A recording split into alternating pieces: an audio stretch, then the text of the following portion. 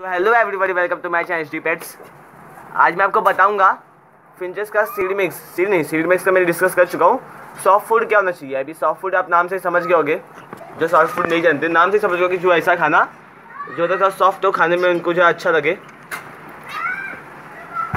तो आपको soft food में क्या करना आपको जो बॉयल्ड राइस होता है, चावल, आपको वो दे देना है। हमारे जो मक्का होते हैं, मक्का को आप हल्का सा मतलब भिगा के एक दो घंटा रखना है तो और सॉफ्ट हो जाएँगे, वो दे देना आपको। फिर तो जो हमारे गाजर होते हैं, आप गाजर काट के दे सकते हैं, रोटी दे सकते हैं, जो नॉन वेजिटेरियन है, वो एग दे सकते हैं। एग एग फ़ूड हाँ प्रोटीन फ़ूड आप बहुत लोग जानते हो जो फिंचेस पालते हैं एग फ़ूड वो दे सकते हैं, क्योंकि अगर जो वेज है, जो एग नहीं दे सकते तब उनका प्रोटीन की कमी किससे पूछोगे, वो तो मैं नहीं बता सकता, क्योंकि मेरे पास इतना ज्ञान नहीं है प्रोटीन पे। तो एग फ़ूड की जगह आप, जिसे मैं मैं जैसा मैं देखा एक्सपीरियंस किया मैं फिंचेस को ब्रेड बहुत पसंद है। कसम से बोला हूँ ब्रेड बड़ा पसंद है फिंचेस को। तो ब्रेड के नाम पे सब्सक्राइब कर लो मेरा चैनल तो मैं फिंचेस को ब्रेड बहुत पसंद है ब्रेड भी अच्छे खासे खा लेते हैं वो। और मैं फिंचेस इधर झगड़ा बहुत करती है ब्रेड के नाम पे।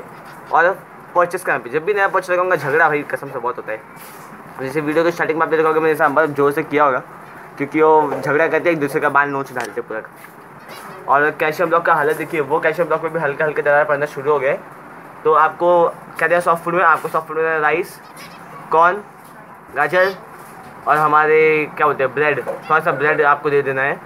और सीड्स में जैसे हमारे गेहूँ होते हैं, गेहूँ को भिगा दे, एक रात भिगा दे, उसके बाद वो दे दे। जो हमारा वो होते, चने होते, वो भिगा के दे दे। आप दे सकते हो आराम से तो खा लेंगे।